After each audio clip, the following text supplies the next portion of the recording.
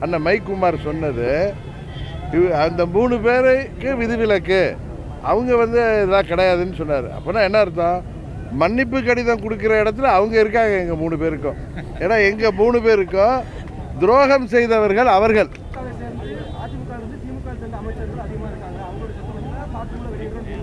அதாவது DMK files two தானே? நானும் ஆர்வமாக எதிர்பார்த்துட்டு இருக்கேன். அது வந்தது அதை பற்றி பேசுவோம்.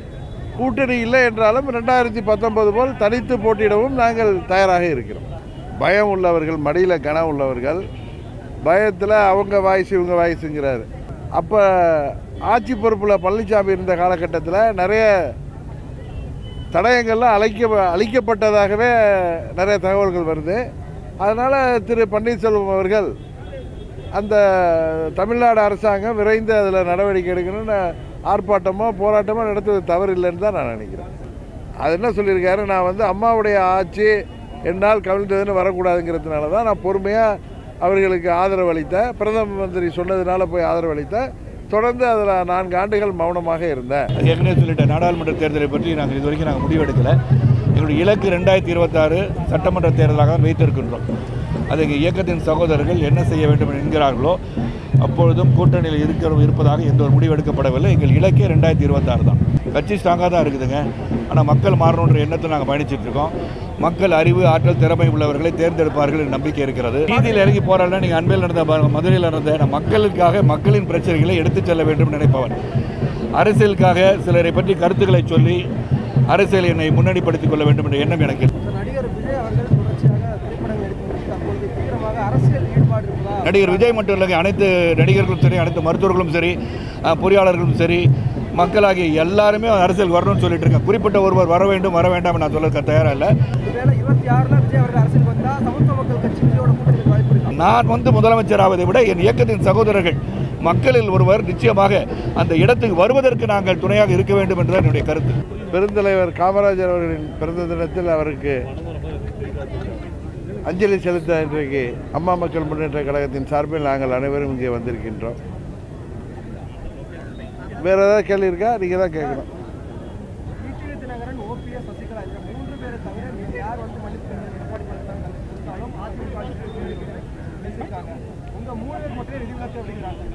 என்ன சொன்னார்? நீங்கள் முதல்ல கேட்டப்ப தப்பாக கேட்டீங்க.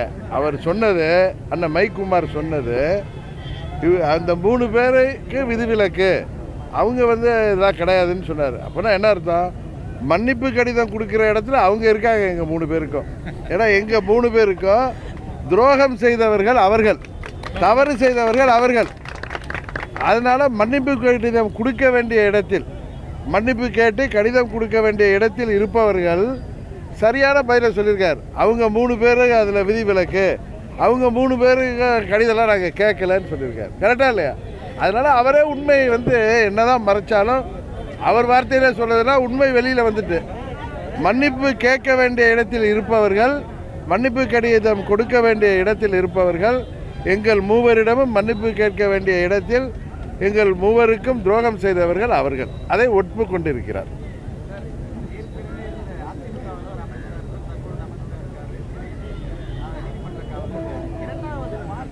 அண்ணாமலை ஊழல் பட்டியலில் அதிமுக சார்ந்தவர்களும் அதிகமாக இருக்காங்க திமுக அப்படின்னு சொல்லியிருக்காரா அதிமுகவை சேர்ந்து அதிமுக இருந்து திமுக சேர்ந்த அமைச்சர்கள் அதிகமாக இருக்காங்க அவங்களோட அதில் அப்படின்னு சொல்லியிருக்காரா?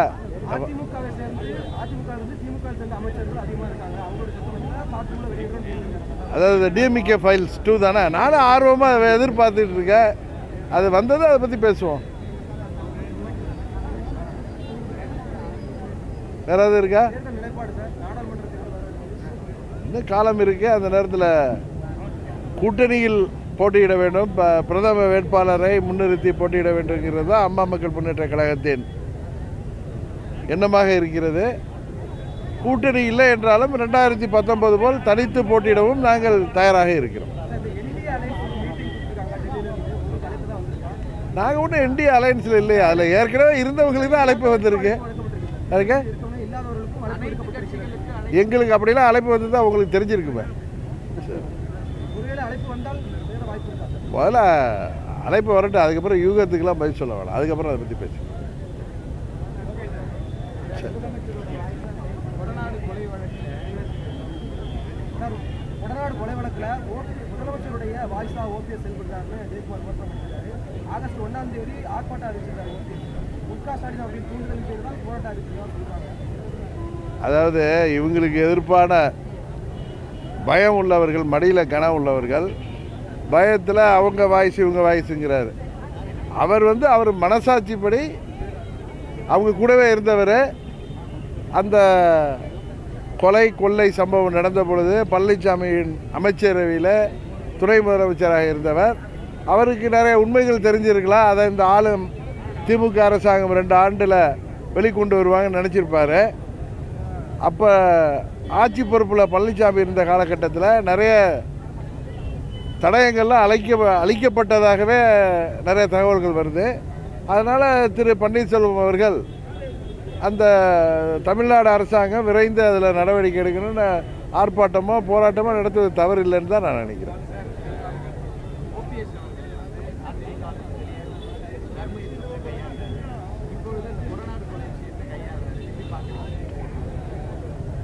இது எப்படி பார்க்குற கொடநாடு கொலை கொள்ளை விஷயத்தில் உண்மையான குற்றவாளிகள் கட்சியிலிருந்து வெளியேறும் பொழுது அந்த கட்சியை வந்து தாக்குதல் பண்ற மாதிரி ஒரு விஷயம் செய்யறாரு அல்ல அது எதை வேணாலும் எதுக்கு வேணாலும் பேசலாம். கொடநாடு கொலை கொள்ளையில் உண்மையான குற்றவாளிகள் அம்மா அவர்கள் மிகவும் பிடித்தமான இடத்துல நடந்த கொலை கொள்ளையை குற்றவாளிகளை கண்டுபிடிக்கணுங்கிறதுக்காக போராட்டம் நடத்துகிறாரு அந்த அளவு தான் நான் பா பார்க்குறேன். அதுக்கு எங்கள் ஆதரவு உண்டு.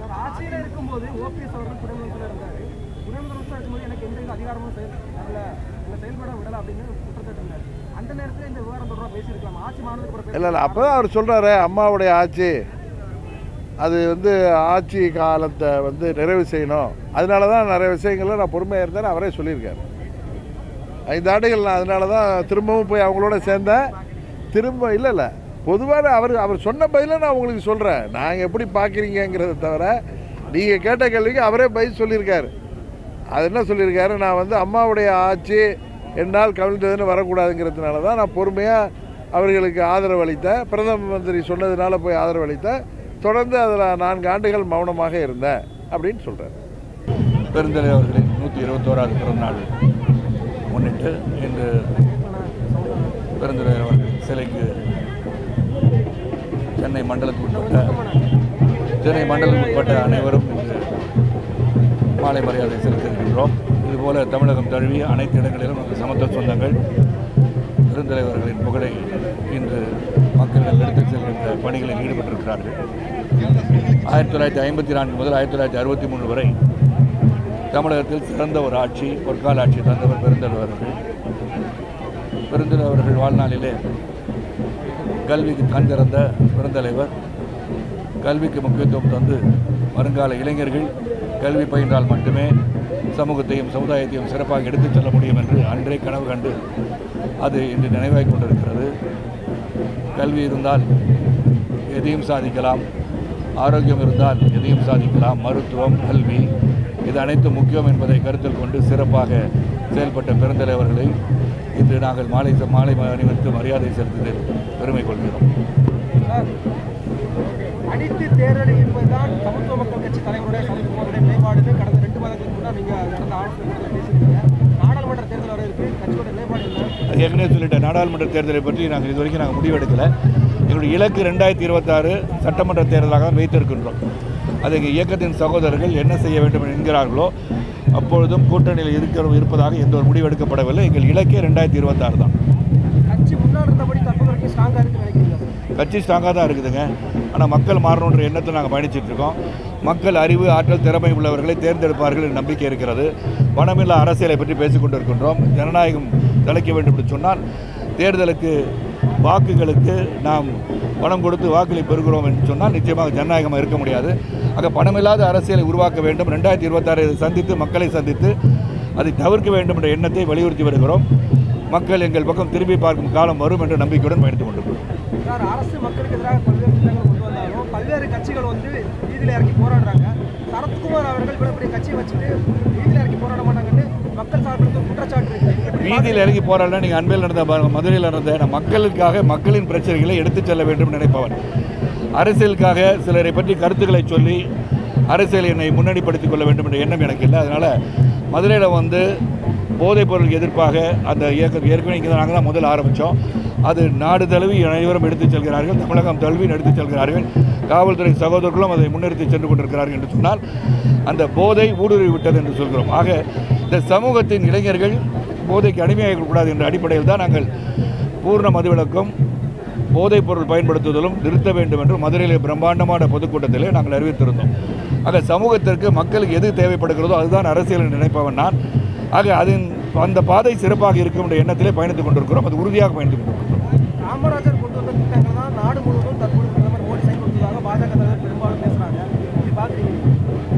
ஆமாம் ஒருத்தர் வந்து விட்டு சென்ற பணியை தொடர்வதற்கு சிலர் முற்படுகிறார் என்று சொன்னால் பெருந்தலைவருக்கு தான் அது புகழ். இல்லை அது வரவேற்கிறது. பெருந்தலைவரை வந்து ஒரு மிகப்பெரிய தலைவராக பொற்கால ஆட்சி தந்தவர். இந்த இந்தியாவுக்கே முன்னோடியாக இருந்தவர் என்று புகழப்பட்டவர் நேருவால் கூட புகழப்பட்டவர். அப்படி இருந்தவர் செய்த பணிகள் இன்று வரைக்கும் பல டேம்கள் கட்டதும் சரி தொழிற்சாலை உருவாக்கியதும் சரி அவர் காலத்தில் உருவாக்கியது மிக மிக அதிகம்.